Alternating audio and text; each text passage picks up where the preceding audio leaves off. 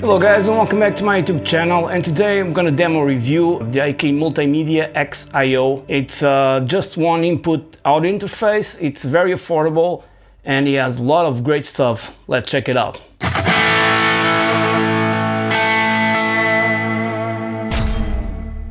So basically this is it, a small, very small unit from IK Multimedia that is a great unit and very compact and has everything you need. It has phantom power, starting from the left you have an input knob so you can adjust your gain. Then you have right next to it a Z-tone that can go from bold to sharp. If it's in bold, you will reduce uh, the IM. So I have this spacious patch around here using AmpliTube 5.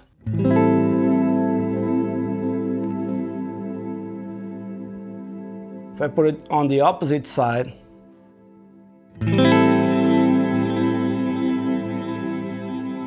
This is real cool if you have a guitar that has two highs or a guitar that is too dark, you can shape the tone here. Very effective.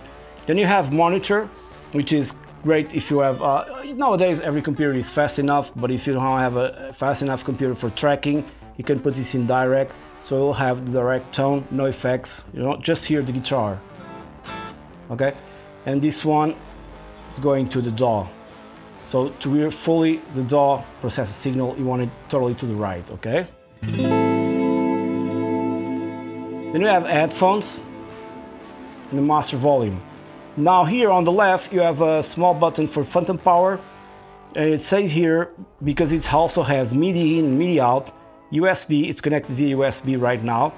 Microphone is also, it's a combo jack for microphone with phantom power. And now it's in instrument. There's a, um, a panel that I'll put a screenshot here somewhere on the video so you can see the pedal software for this unit.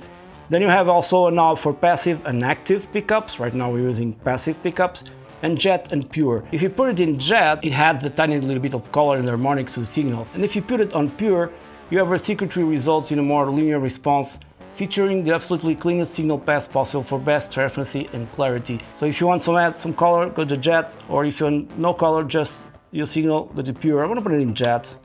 It does make a difference recording. Now this box has a great feature. It has an amp out here, so you can use this to reamp your tracks, or you can also use it in conjunction with the Tonex pedal to profile your amps. And then there's options for foot switches as well. You can control some stuff here, so it's a great unit.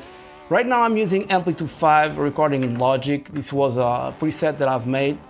It's kind of spacious preset. Let's check out another one with this unit. It's kind of a, it's a Marshall right now. Let's see how it sounds.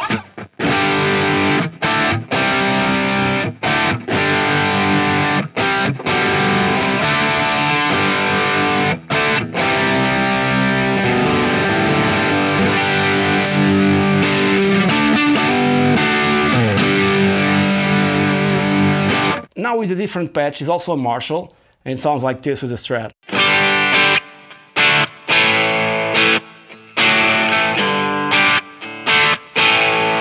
Let's change presets here.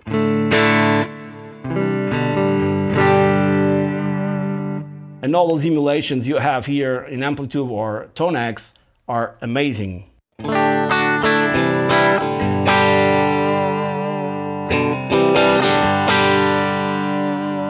There's basically no latency, I can play this like I'm playing with a real amp, all the dynamics and stuff.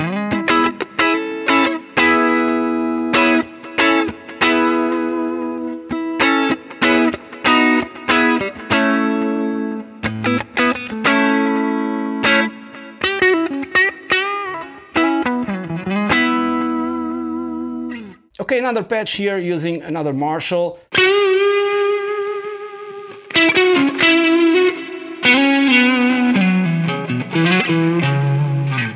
Gonna turn down some edge, you know, maybe I have some high end, too much high end, just put it in bold.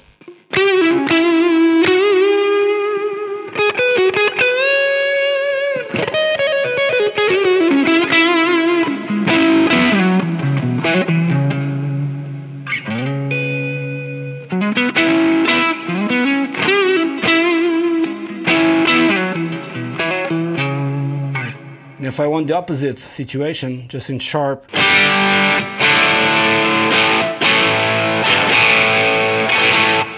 So basically this wraps up the video. This is a great unit, very affordable and as I said before, it's a whole package. You have software that comes with it, even if it's the SE versions of the software that already bring a lot to the table and you can do basically everything with this thing. And the fact it has an amp out so you can reamp or use it with Tonex to profile your amps I'm gonna do that for the katanas very soon, but I'm gonna use the actual Tonex capture pedal, but you don't need that. You can do that with this unit. So I hope you enjoy my demo review of the IK Multimedia AXE I/O One and stay tuned for more. I see you on the next one.